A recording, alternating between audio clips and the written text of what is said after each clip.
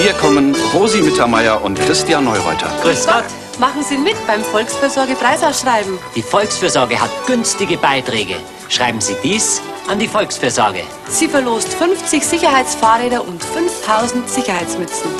Keine Sorge, Volksfürsorge.